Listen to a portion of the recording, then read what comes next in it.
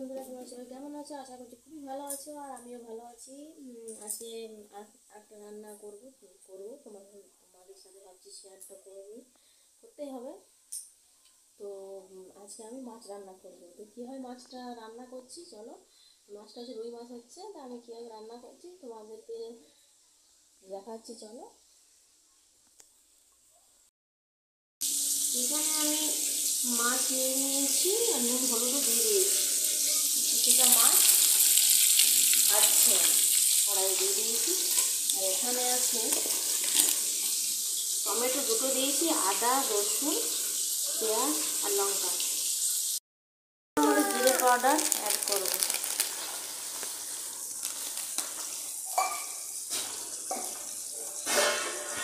মাছটা ভাজা হয়ে গেছে, আর আমি ভাজাগুলো তুলে নিয়েছি। কিছুগুলো মাছ আছে, এবার আমি ভেজে নেব। দেখতে পাচ্ছ কড়াইটা অবস্থা হয়ে গেছে। আমার এখানে আমি তিনটে পেঁয়াজ অ্যাড করেছি, নিয়েছি এবার তিন পেঁয়াজগুলো দিয়ে দেবো।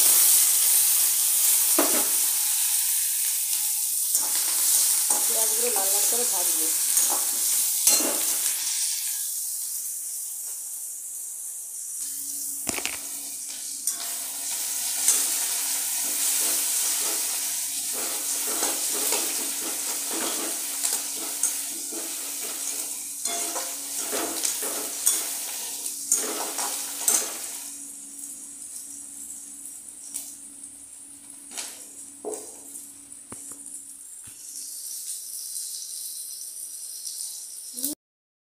এটার মধ্যে আমি তাহলে নুন আর হলুদ দিয়ে দিলাম।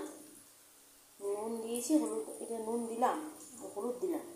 আর এটাকে ভালো করে আমি ঘাটবো। এখানে দুটো টমেটো দিয়েছি, আদা, রসুন, পেঁয়াজ, এটার মধ্যে দিয়েছি। পেঁয়াজগুলো ভাজা হয়ে গেছে মশলাটা দিয়ে দেবো।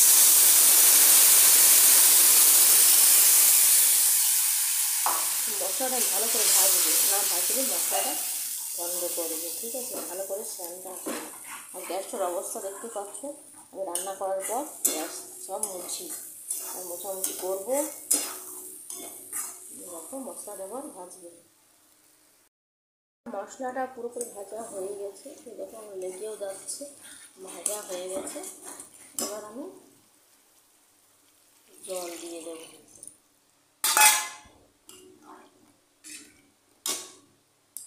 জল দেওয়ার পর ধনে পাতা দিয়ে দেবো।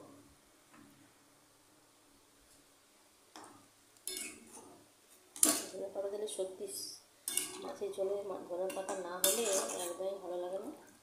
ঝোলটা না ফুটে ফুটে যাবে, তারপর ভেজে রাখা মাছগুলো এটার মধ্যে দিয়ে দেবো।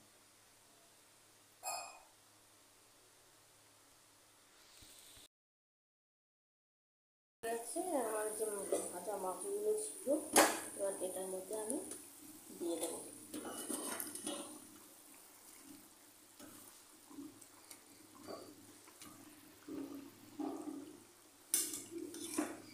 এটা আমার পাঁচ মিনিট ফুটবে, তারপর আমি নামিয়ে দেব।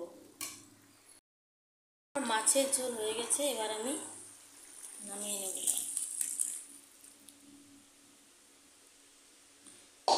রান্না কমপ্লিট দেখো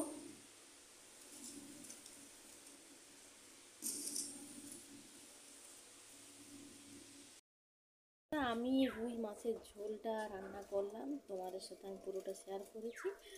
আর কেমন লাগল? অবশ্যই ভিডিওটা কেমন লাগল? অবশ্যই একটা কমেন্ট করে জানাবে সবাই। আর এইভাবে রান্না করে বাড়িতে তোমরা খেও। তো তোমাদেরও ভালো লাগবে তো আর কিছু বলছি না।